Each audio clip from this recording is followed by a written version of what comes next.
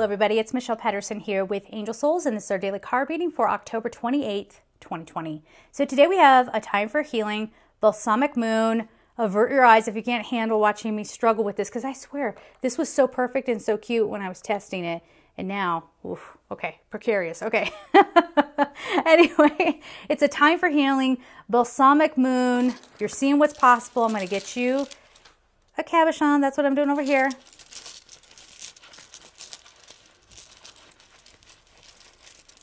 This one right here wants to come out. There is the back of it. We have Gabriel. Oh my gosh. Gabriel's all about the sacral chakra and the throat chakra. So, healing and understanding, we keep talking about our personal truth, don't we? That seems to be a running theme here. So, getting a chance to have your say, but this isn't in an egotistical way like, haha, I just need to be right.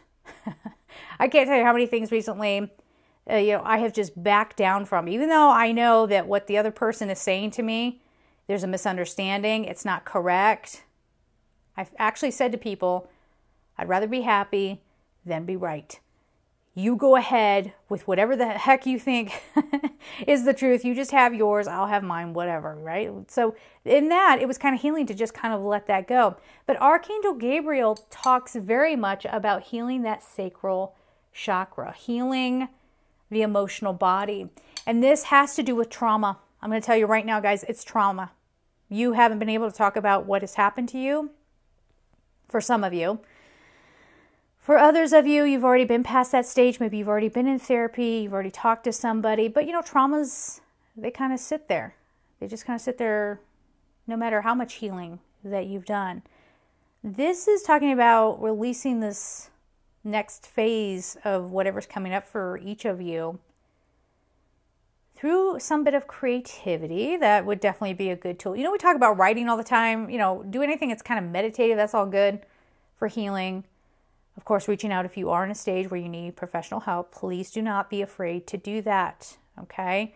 No matter if we're in a toxic world that wants to diminish people who are going through it okay? It doesn't make it true it doesn't make it right all right so, Gabriel, I think, is definitely coming up for the sense of nurturing. So, today can be a really nice, cozy day if you want. If that's something that's very healing for you, have a cozy day. Sit by the fireplace if you have one. Go for a walk if it's not, you know, if the weather's not too bad.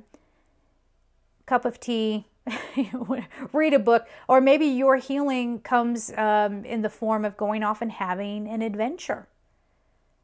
You know, one of the most healing things I did just as an example, I grew up in Northwest Ohio, not far from Cedar Point. And one of the most healing things was to go off and go to the roller coaster park and, you know, just enjoy the nostalgia and, and enjoy the adventure and the thrill of being on the roller coasters. It made me feel like a kid again.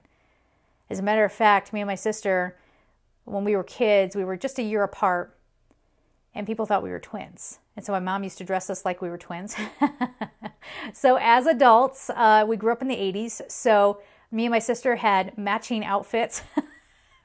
we did this and we were not sorry. Okay. We had matching outfits. We busted out some like plastic neon jewelry and we wore that to the amusement park and we had the time of our lives. And it was so incredibly nurturing and healing just to sort of reclaim or kind of um, you know, kind of pay pay homage to a time in our life where we were very innocent.